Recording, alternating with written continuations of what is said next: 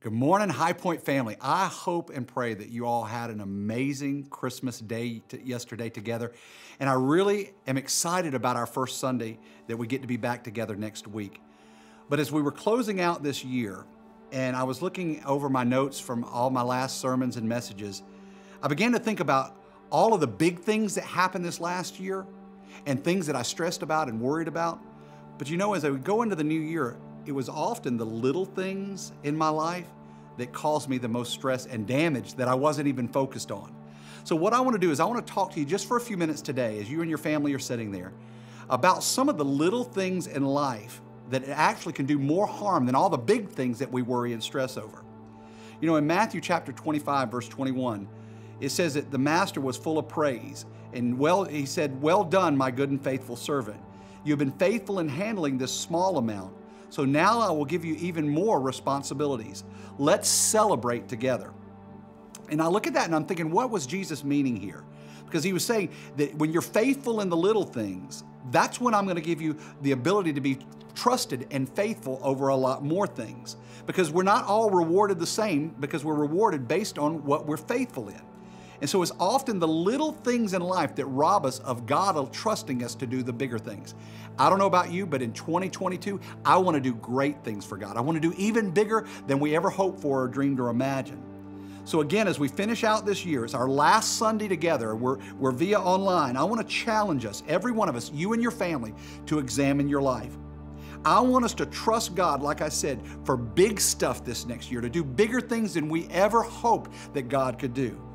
So, with that being said, we've got to nail the little stuff to be able to be trusted with the big stuff. I know it's been cold the last couple of days and last few weeks, and as whenever it gets cold, it's kind of like I'm like, you know, I'm ready for summer. I'm ready for the beach. And one thing that I, I love about the beach is going and getting in the water. And and every time I get in the water, there's one thing that I always look for, and maybe you do too. I look for sharks. And Shark Week, every single year, it doesn't help at all because I start thinking about the sharks and are they to get me? And sometimes it scares me so much that I can't even enjoy being in the water because I'm so alert and aware of what's swimming around me. You know, I've told this story so many times, and many of you probably heard it about when I was younger, that my mom wanted to be able to enjoy the beach with uh, us as her young children. So she took us to see Jaws the night before. And we went to the beach the next day, we were terrified. We sat there on the shore and we were afraid to even put our feet in the water because we just knew that Jaws was going to come and eat us and pull us into the water. But I've been to the beach millions and millions of times, and I can't ever recall that I actually saw a shark that came close to us. Now, I did see a dolphin one time, and it about gave me a heart attack. But I think about in that movie Jaws, that music that would play in the background. Don't you know that life would be so much easier if, when bad things were about to happen, that we would get some sound effects like bum bum, bum bum. You know, it doesn't happen because if that did, we would know that something bad was going to happen. And then eh, when it does, first the water turns yellow and then it turns red. And some of y'all will get that a little bit later. But we spend all of our life looking for sharks. But you know, how many times have we ever gone to the beach and somebody said, Oh, you better watch out for the jellyfish? Because do you realize jellyfish are way more dangerous than even sharks? Because more people die every single year from death by jellyfish than they do by sharks. You know, I've never taken a walk in the park and somebody has said to me, um, oh, you better look out for the killer bees or look out for the bees because I don't know if you realize this, but more people are killed every year by bees than jellyfish and shark combined. So we spend our lives looking for these big sharks. Many of you right now are trying to think of all the big things in your life that have been holding you back. But I'm here today to tell you to, to maybe examine some of the little small things. Because whether we go to the water or not, there may not be a shark that can get us, but there's these little things swimming around in our lives that may not be as big or scary, but they can be very dangerous in our lives. So I want to think about this next year. What are the little things that have been holding me back? Because I spend all my time trying to overcome the, the big issues. We focus on the big sins, you know, big to us, you know, because sin is all the same to God but we spend all of our life and our focus and our energy focusing on all these big things that need to change. And maybe you need to stop and going into 2022, not so much focus on the big things, but what are the little things in life that God's wanting you to focus on? The smaller things that are actually maybe even more of a bigger threat in your life. So, why do we do this? Why do we focus on the big things? Because a lot of times it's the small things, they're not that intimidating. I mean, when I see a jellyfish, I don't freak out. When I see a bee, I don't always freak out, but they can do a lot of harm. And in life, it really is often the small things that we don't even give any, any credence to that can cause the most upset in our lives. You know, in Song of Solomon, chapter 2, verse 15, it says, Catch all the foxes, those little foxes, before they ruin the vineyard of love, for the grapevines are blossoming. So, what is it saying here? It's saying, look out for the little foxes because they're the ones that are going to spoil the whole vineyard. Because foxes, they cause a lot of damage, they cause a lot of mischief, and they spoil the vines and they, they destroy the fruit that's hanging from them. Because when the vines are full of fruit, they hang lower. And those low hanging fruits, those, those gifts, those talents that you and I have, that's exactly what the fox is going to go after. And that fox is the enemy in our life. He's sneaky, he's crafty. And oftentimes we're looking to protect and cover up the big areas of our lives, and the enemy is just looking to snatch the, the smaller fruits in your life to have a bigger win. So, what does it mean to catch the little foxes? Well, it means stop sin at its first appearance. Because it's often the little sins, the small struggles that we think that aren't that big of a deal, that nobody else matters and, and, and everybody else struggles with it. It's those smaller little sins that cause the most damage in our lives. It's those little appetites that we don't pay attention to. And so, what I'm challenging today to do is before we go into this new year, let's stop and let's think. Are there any little habits, any little frustrations, little struggles, little sins that I struggle with that have caused a lot more damage in my life that I've than I've realized and I've just kind of given them a glance over and a gloss over and not paid much attention to it?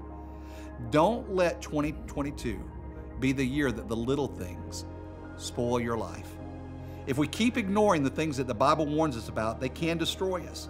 Because so often, like I said, we're focused on looking out for the big sharks, but ignoring the little jellyfish and the bees.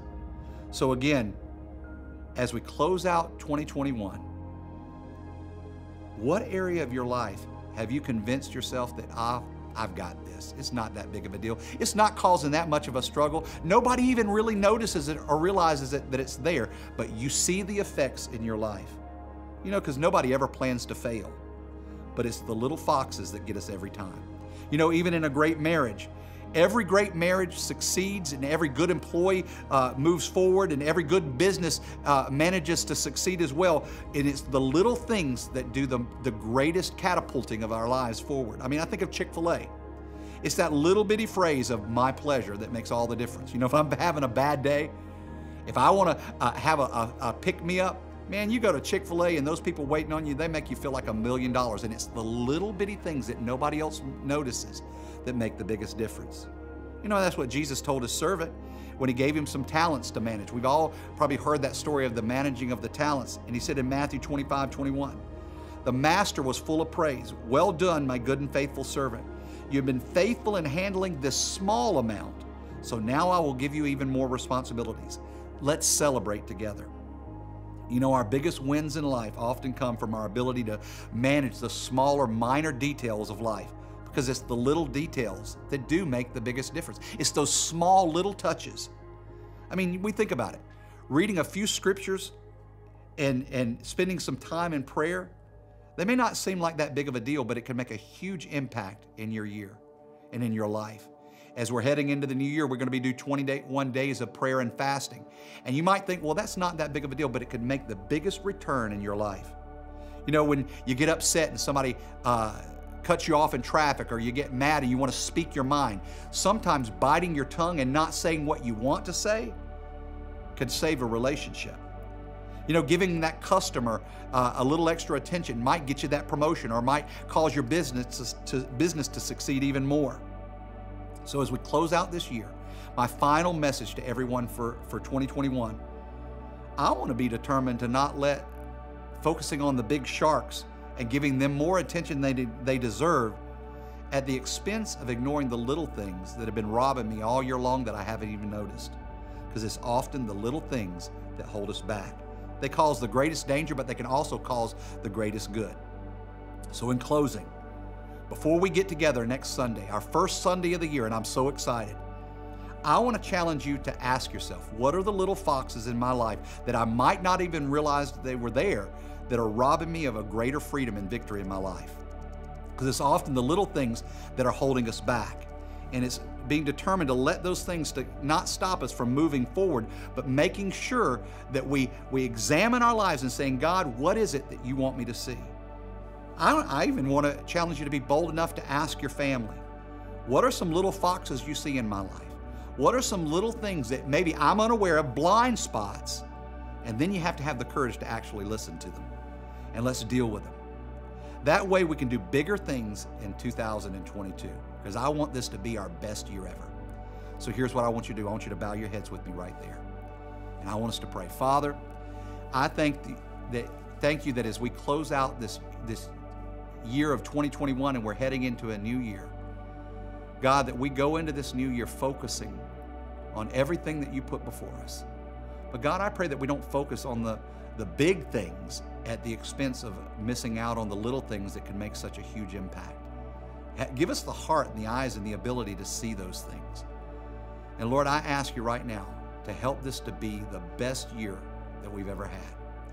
Now, with your head still bowed, maybe you're sitting there with your family right now and you don't know the Lord.